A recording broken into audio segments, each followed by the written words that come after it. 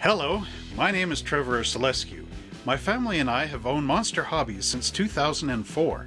We have a large collection of the most exciting model cars and trucks, and they're all for sale in one location.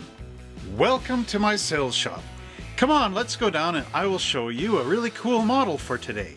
Now here we have a model kit that is really cool, goes back to the early days of Lindberg and is now out once again. This is the Lucky Bucket kit and the Super Roadster. You're actually getting two cars in this box.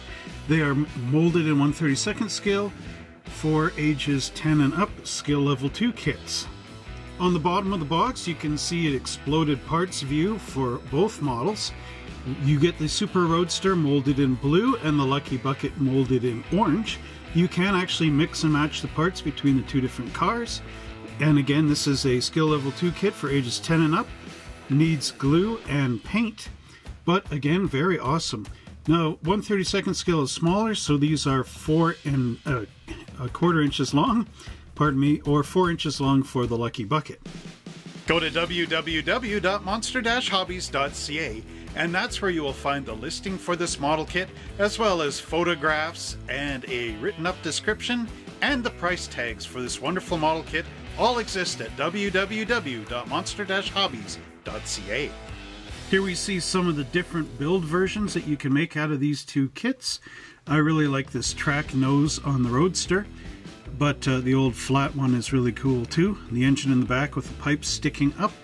A lot of great great different ways to build this. You get the uh, B-Altered Deuce here, two complete kits, many ways to build, and the other is the Scoopster and the rear mill bucket, and the one up top here is the Street Roadster. Enjoy these great videos? Well, if so, don't forget to like, subscribe, and share this channel with all your friends and family.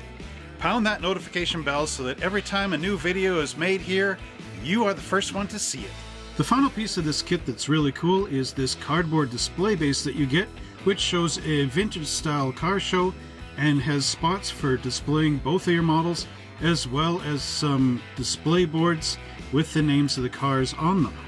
So there you have it www.monster-hobbies.ca.